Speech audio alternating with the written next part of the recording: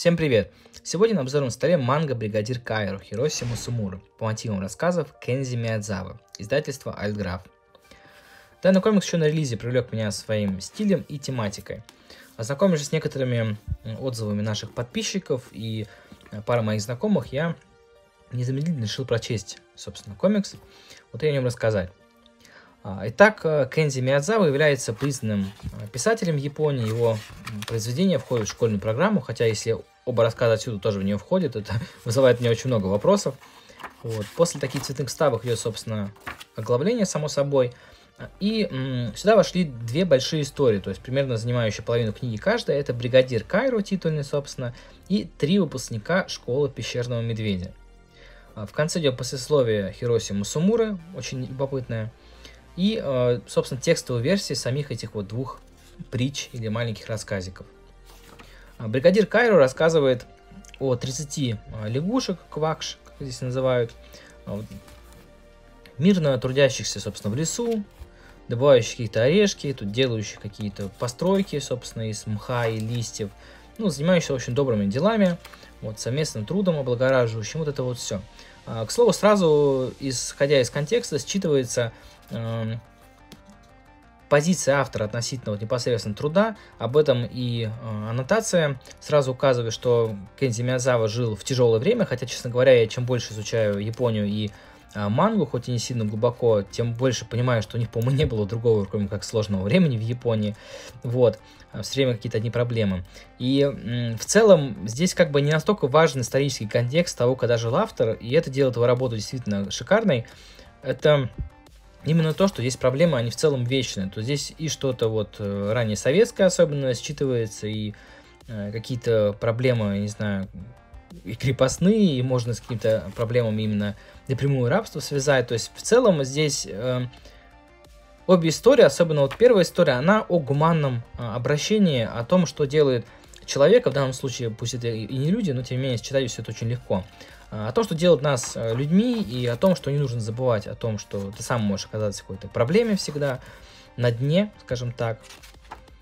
А, а по, сюжету истории, собственно, вот лягушек спаивает э, в баре обманом э, хитрая жаба, которая вот в канистре откуда-то взяла много виски. Вот, и, собственно, шантажом, вот ввиду того, что ей не могут оплатить все, что они выпили, лягушки, ну, лягушек вынуждают как бы стать, по, по сути, ее рабами. Вот она с ним обращается как с животными до какого-то определенного момента. А, чем все заканчивается, я пересказывать не буду, но скажу, что первая история по сравнению со второй заканчивается довольно позитивно, гуманно и в целом несет с собой довольно любопытный, интересный посыл. То есть при всей жести, которая здесь происходит, а, история все равно гуманистическая, и вот в плане там каких-то э, детям, да, читать и прочего, она, я считаю, вполне себе годится. Конечно, от определенного возраста, это не для маленьких детей абсолютная история. Вот. Вторая история, она более жестокая. Вот, три выпускника школы Пещерного Медведя. Честно говоря, я вообще с нее просто офигел, простите мне, вот э, мой французский, что называется. А здесь э, Тануки, это такой медведь-енот японский, вот зверь, интересно, у них есть. Вот, собственно, Тануки, э, слизень и паук с длинными красными лапами, кого здесь называют – вот, серебристый, опять же, слизень и тануки, который не умывается. Это важный момент, такие в плане названий. Вот, на тему того, что тануки не умывается, это как бы такая, в том числе, метафора на тему того, что у них, в принципе, угольно-черные лица, как бы, и он как бы этим обозначает э, внешний вид, в том числе, животных. То есть такие, общем, интересные маленькие отсылки, как я понимаю, все-таки в переводе они, видимо, немножко другое что-то значат в плане мощности какого-то символизма и так далее. Но вот этот такой момент с названием, он обусловлен внешним видом настоящим этого тануки в природе. А медведь, собственно, учится какой-то тут обычной ерундистике. Вот. А рассказывается о том, как кто-то где-то жульничает, кто-то где-то кого-то обманывает, и все заканчивают это все. А, собственно, главная мораль, как мне показалось, этой притчи – заключается как бы в том, что э, учиться нужно честно, не ставить себя выше как бы других, ну и вот такие вот простые как бы вещи. То есть она тоже в какой-то мере идет о э, классовой э, розни, потому что здесь, выучившись, вот, э, закончив образование, паук, слизень и э, тануки расходятся разными путями, и, собственно, вот такими плашками разделяется книга на э, дальше на три главы, вторая часть ее. Э, вся история стоит вот далее из трех глав. Часть первая, что же случилось с пауком, соответственно, потом со слизнем и енотом. Причем любопытно, что между собой они тоже пересекаются, то есть один к другому заходят, как бы здесь поглумиться или еще что-то. И все три истории разные. А, пауком, собственно, в какой-то мере овладела в большей мере, наверное, жадность, вот, и какая-то рутина, вот им погрядшая, то есть ему все было мало и мало.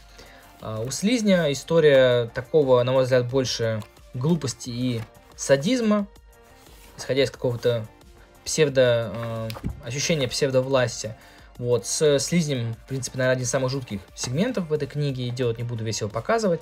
Вот, и Стануки история уже религиозного контекста, тоже очень страшно, особенно в сцене вот с зайцем, не буду все ее показывать, но э, все это здесь включает вот, такого рода жуткие, в общем, сцены. Вот, э, и принципе пропитаны такой э, чисто японской, скажем так, крепотой, будем называть как есть. А, при этом, э, повторюсь, как бы здесь нету каких-то из ряда вон иллюстраций, совсем отвратительных, но жесть здесь действительно есть, поэтому как бы имейте в виду, вот читаю, что комикс во многих аспектах может вас очень сильно удивить, иногда как бы в, в таком совершенно неожиданном ключе, потому что вот эта графический, как бы, графическая жесть, которая здесь есть, я ее, честно говоря, совсем не ожидал.